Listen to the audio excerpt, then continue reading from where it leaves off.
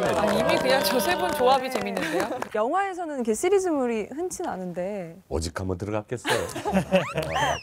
잘 될 거라고 예상하셨나요? 했어요. 어 언제요? 어, 더 비기닝 찍을 때 중반에. 아직까지 그렇게 잘 아니야. 이번이 잘 돼야 해. 아니, 아니, 아니, 여쭤보시길래. 그 리턴즈로 돌아오셨는데 이제 좀 소개를 해주신다면 예측 불어 추리 코미디 영화. 음악으로 따지면 LP판을 한 30년 쓴 LP판을 틀어놓은 것 같은 턱턱 튀지만 아. 그래도 뭔가 집중할 수 있는 예, 그런 영화. 어때 내 이런 표현이? 말은 어디서 그렇게 가? 이건 사실 준비해오지 이상 정말 대사보다 그런 걸 더 열심히 준비해 오시나? 라는 생각도 가끔은 해요. 아 그래서 애드립을 장인이라고 부르는 건 아닌가 또. 어. 이건 너무 예. 아니 좋아요. 난 이렇게 이렇게 뭐 싸가지 없는 후배들 난 촌스러워. 근거 없이 판단하기 일러. 아 이렇게 단서가 많은데 함정 맞아? 영화 속에서도 티격태격 케미를 이어가던 두 사람. 드디어 우리한테 걸맞는 사건을 맡았네요. 의뢰받은 첫 사건부터 범상치 않았는데요.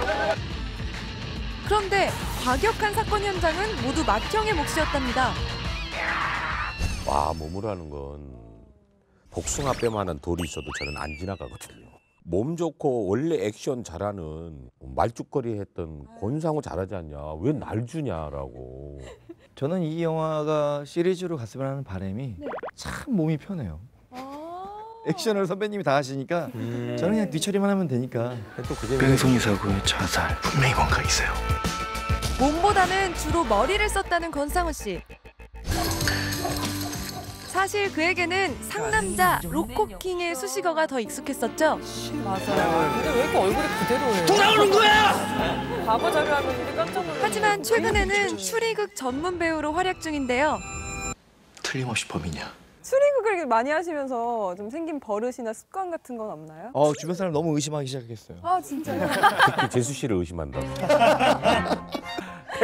어, 재수 씨를 의심하고 얘 스케줄을 서로 의심해요. 이런 이미지 변신에 대해서 아내분께서는 뭐라고 하시나요?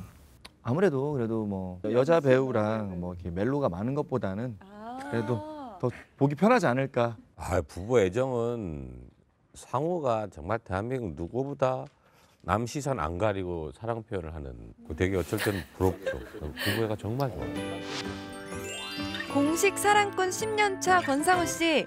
아내 바보인 그가 최근에는 딸 바보까지 등극했다는데요. 아우. 아이들이 너무 빨리 커서 좀 아쉽거나 그러진 않으세요? 되게 아이러니한 것 같아요. 애가 빨리 컸으면 좋겠다는 생각도 하는 반면에 네. 지금의 모습도 이쁘고 또 빨리 컸으면 좋겠는데 그러면 또 우리 어머니는 더 늙고 참 그렇게 해서 한 세대 한 세대 아, 가는 또 거지. 한잔 해야겠다. 그냥 안 되겠네요. 아.